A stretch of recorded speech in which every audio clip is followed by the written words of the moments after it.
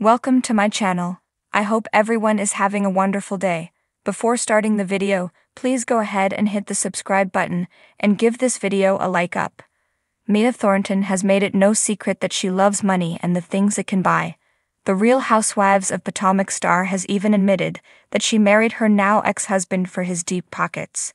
When she talks about her life before marrying Gordon, she often refers to how much she was able to make in one night. So it is clear that money talks in her world. But how did Mia Thornton make her money before she appeared on the Bravo show? Here's everything you need to know. Mia Thornton had money of her own before meeting Gordon. Dr. Wendy Onini, Osefo, and others have asked Mia if she only married Gordon for financial reasons.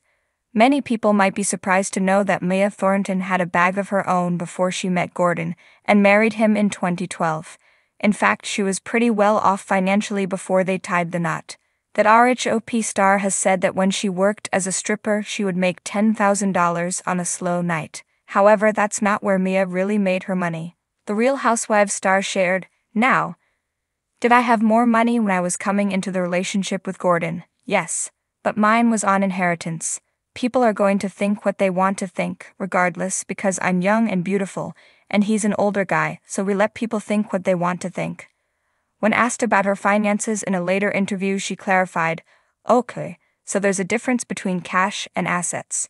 So at that time, did I have more cash in the bank than Gordon did? Yes, abso freaking lutely.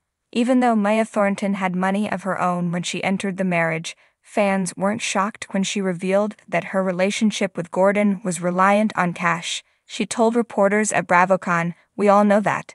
That's just who I am. Money was the reason the RHOP star left her husband.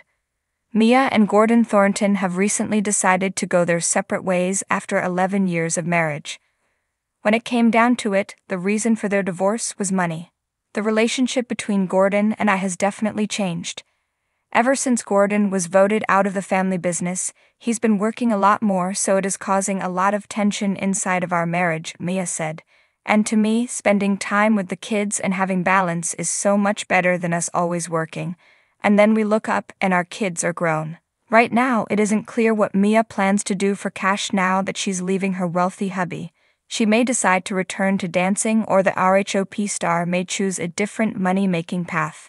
Only time will tell. New episodes of Real Housewives of Potomac are airing on Bravo on Sundays at 8 p.m. Eastern Standard Time.